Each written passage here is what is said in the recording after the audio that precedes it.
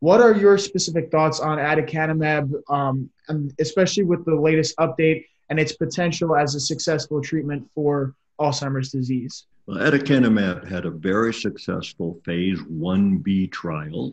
It showed that it significantly reduced the amyloid protein in the brain. And on several of the clinical measures, it showed that it was low, uh, slowing the loss of cognitive function.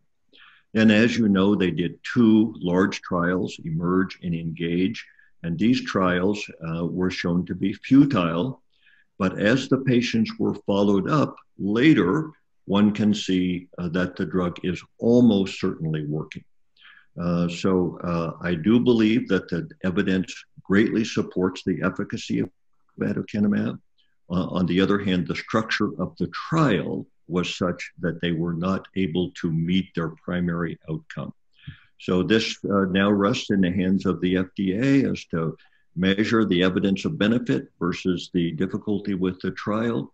And they will either approve the agent or they will have some, some sort of conditional approval or they will require another trial. And whatever happens, we're going to learn a ton uh, about drug development and how the FDA is viewing these things by what happens to aducanumab.